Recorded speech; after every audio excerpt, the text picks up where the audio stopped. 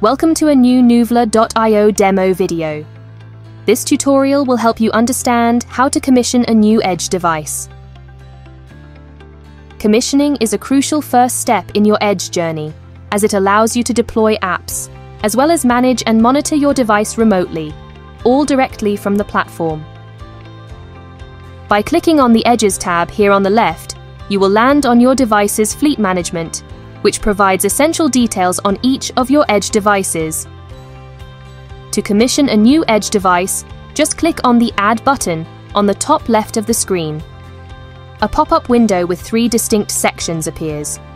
The first shows your device details. You should give it a name and a description. You can also choose to use the Nuvla.io VPN to safely connect to your device from the platform and to register your public SSH key to ease direct access to it. If you're a new Nuvla.io user, check the video description to learn how to generate VPN credentials. The next two sections refer to Nuvla Edge installation settings. Nuvla Edge is a software which will enable communication between your device and the Nuvla.io platform. First, select the version of Nuvla Edge to be installed on your device. We recommend you always choose the latest production release. At this point, you can choose to enable the device discovery functionality, which allows your device to detect other devices or peripherals through selected channels like Bluetooth, network, and more. For now, we will only enable device discovery through USB.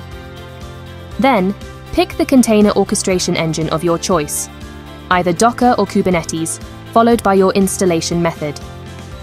Nuvla Edge can be installed in two ways through a Compose file bundle to open on your device, or through an USB stick. The latter is mostly used in the commissioning of multiple Edge devices.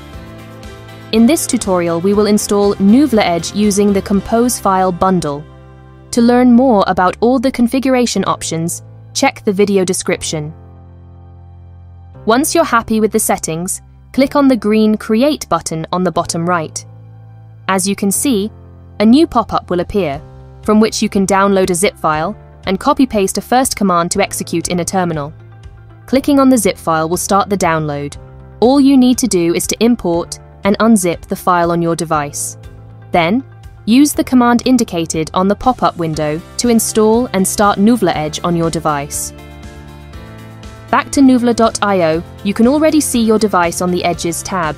Its status will become green after a few seconds, confirming that the platform and the device are communicating correctly.